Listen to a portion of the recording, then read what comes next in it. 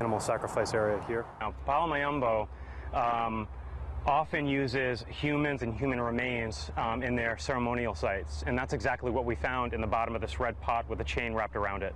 Um, when I started going through this one particular pot, bringing out all the sacrificed animals, everything from goats, sheep, dogs, and cats, um, on the bottom was a human skull. Richard Couto is well known for his animal rescue efforts. Head's ARM animal recovery mission was tipped off to this location certainly found the remains of numerous animals, and the skull and other human bones, not surprising to him. I, I highly doubt that a person was actually sacrificed for this particular site.